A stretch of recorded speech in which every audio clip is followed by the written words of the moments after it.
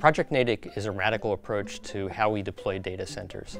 Basically what we're doing is we're taking green data centers, deploying in the ocean, off the coast. The overall goal here is deploy data centers at scale anywhere in the world from decision to power on uh, within 90 days. Half the world's population lives within 200 kilometers of the sea. So moving data centers to the ocean made a great amount of sense to be able to make the actual cable to our customers as short as possible.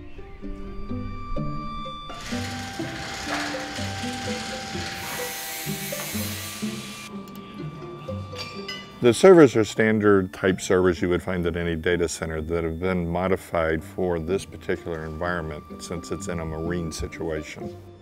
And then the server has the coolant system attached to the outside. There's all the control electronics that live on the outside of the rack.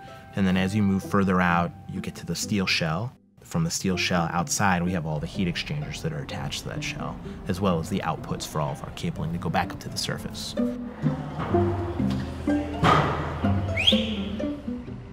Kind of like launching a satellite to space.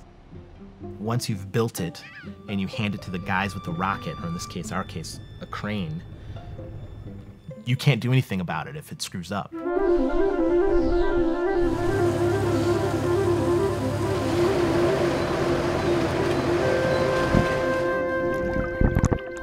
Pump is off. And pumps up. Okay, pumps off. Flip switch.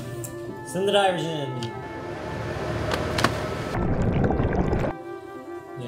Dropping. That's good.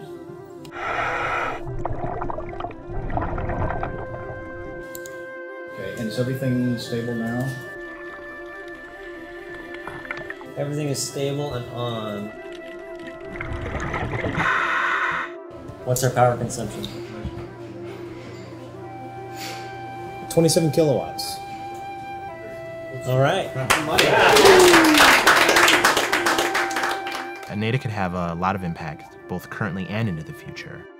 It's not like a moonshot in the sense that it's just some outlandish thing. It's actually a viable product that we could make.